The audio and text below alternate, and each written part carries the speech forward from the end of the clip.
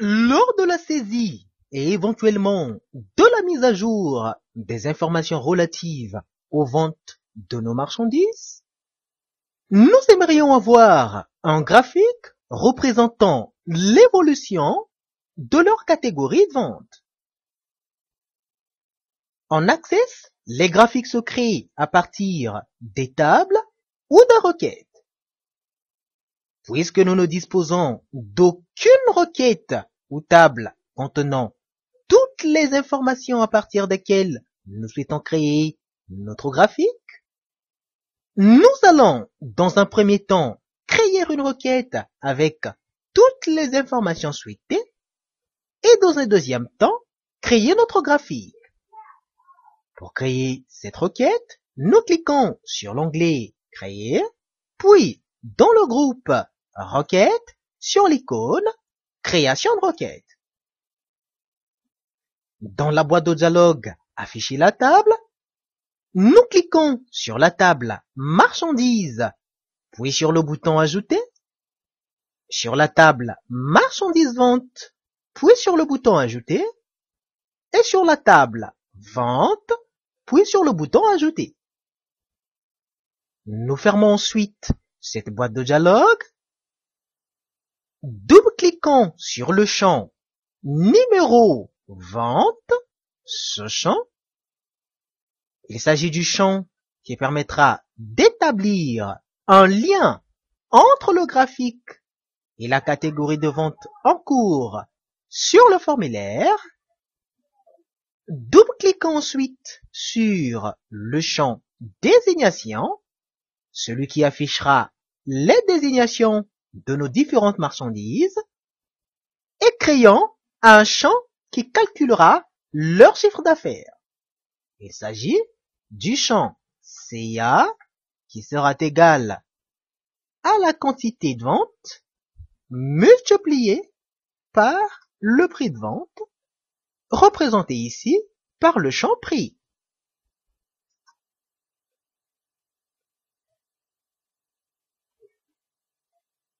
Pour que ces informations soient synthétisées, nous cliquons sur l'icône Toto, sélectionnons la fonction regroupement dans la première liste déroulante, la liste déroulante de la ligne opération, regroupement dans la suivante liste. Et la fonction somme dans celle du champ CA. Pour enregistrer et fermer cette requête, nous cliquons sur cette petite croix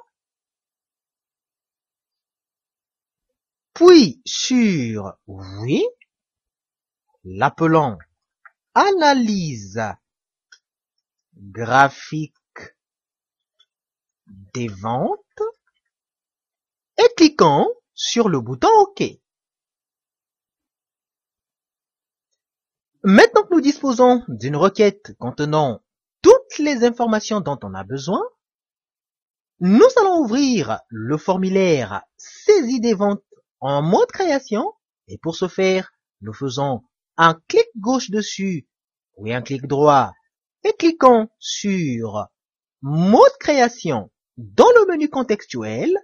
Vous voyez, clic gauche sur le formulaire saisie des ventes, puis clic droit et clic gauche sur mode création dans le menu contextuel.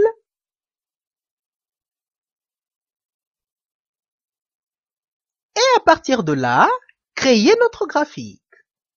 Pour créer ce graphique, nous cliquons sur l'onglet Création. Dans le groupe Contrôle, nous cliquons sur cette petite flèche, puis sur Graphique. Vous voyez cette icône Graphique. Amenons ensuite le pointeur de notre souris à l'endroit où nous souhaitons le faire apparaître. Nous allons le faire apparaître justement ici.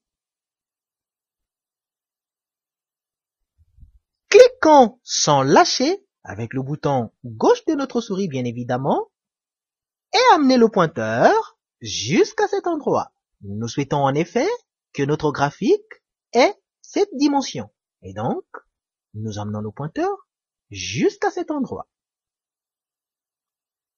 La boîte de dialogue assistant graphique apparaît instantanément. Dans cette boîte de dialogue, nous cliquons sur l'option requête du groupe affiché car nous souhaitons créer notre graphique à partir d'une requête. Il s'agit en l'occurrence de la requête analyse graphique des ventes que nous venons de créer. Maintenant que cette option est sélectionnée, l'option requête, nous allons rechercher la requête en question avec cette petite barre de défilement, cliquez dessus, la requête analyse graphique des ventes et cliquez sur le bouton suivant.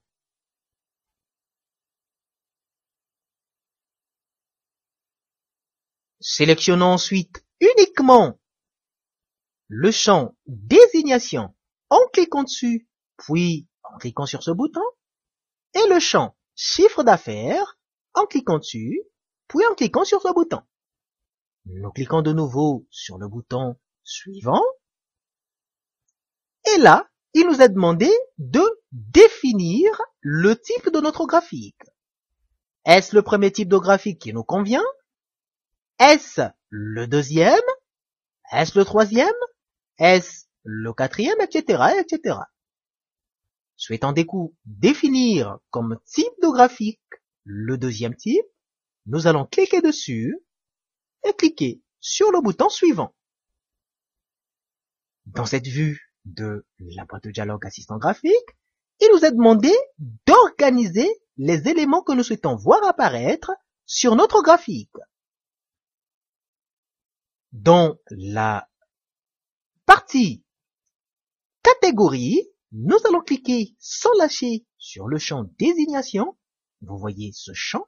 Nous cliquons sans lâcher à cet endroit et l'amenons ici de manière à ce que les différentes désignations de nos marchandises s'affichent horizontalement de cette manière et cliquant sans lâcher sur le champ CA, celui qui affichera leur chiffre de chiffre d'affaires correspondant, nous cliquons sans lâcher et amenons ce champ ici.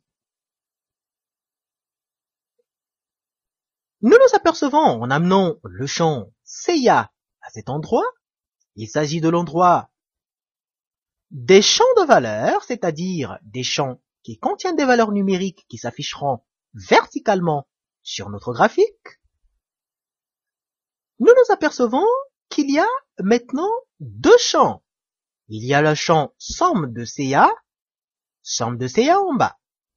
Souhaitons avoir un seul et même champ. Pour cette zone, nous allons cliquer sans lâcher sur le champ somme de CA et le ramener à cet endroit.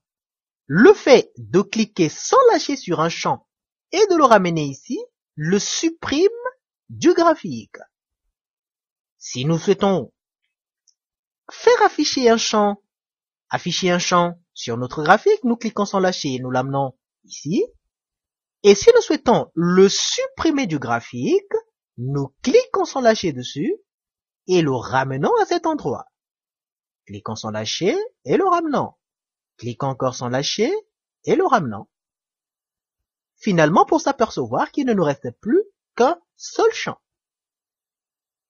Les informations de notre graphique ayant été organisées de la manière dont nous le voulions, nous allons cliquer sur le bouton suivant et enfin définir les champs de part et d'autre de ces listes déroulantes qui assureront le lien entre le graphique en cours de création et le formulaire en cours. Microsoft Access s'étant rendu compte qu'il s'agit dans notre cas de ces deux champs, le champ numéro de vente d'un côté et numéro de vente de l'autre, les a automatiquement définis à notre place.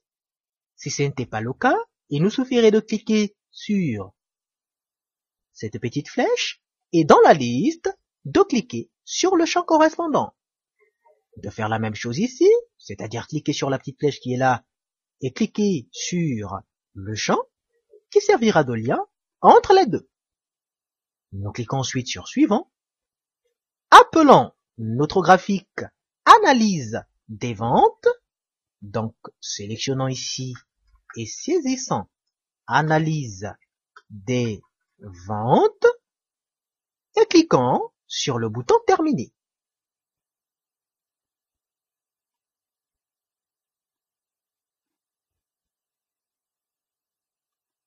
Notre graphique est instantanément créé.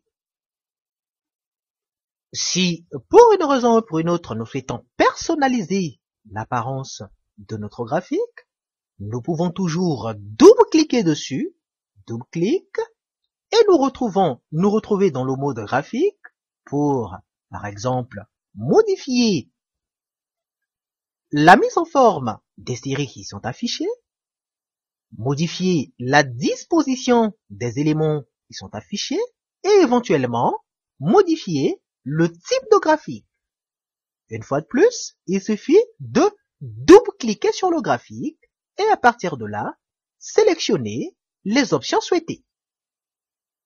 Pour voir ce que notre formulaire est devenu maintenant, d'abord, eh bien, nous essayons de le déplacer un petit peu. Nous cliquons sans lâcher sur le sous-formulaire l'amenant un petit peu ici. Comme ça, on a suffisamment d'espace pour notre graphique. On amène le pointeur de notre souris sur cette poignée. Vous voyez le pointeur change de forme pour prendre la, la forme de double petite flèche jointe. Nous pouvons alors cliquer sans lâcher et essayer d'agrandir, donc de redimensionner notre graphique. Et cette fois, cliquez sur l'onglet Création dans le groupe affichage sur l'icône affichage. Quelques minutes après, nous nous apercevons que notre graphique est affiché ici. Lorsque nous nous déplaçons, avec ce bouton qui nous permet de passer d'un enregistrement à un autre, vous voyez ici, nous nous rendons compte que le graphique se met automatiquement à jour en fonction de la catégorie de vente en cours. La catégorie de vente gros a eu comme vente formation Excel 2010 et voilà sa valeur. La catégorie de vente détail a eu comme vente Office 2013 et formation Excel 2000, euh, formation Excel 2010. La valeur correspondante, donc le chiffre d'affaires correspondant pour cette marchandise, c'est approximativement à cet endroit. Et le chiffre d'affaires pour Office 2013, c'est exactement à cet endroit. Pour fermer notre requête, notre formulaire, et ainsi enregistrer toutes les modifications qui ont été apportées, nous cliquons tout simplement sur cette petite croix, puis sur le bouton oui. Nous avons vu dans ce tutoriel la création d'un graphique dans un formulaire.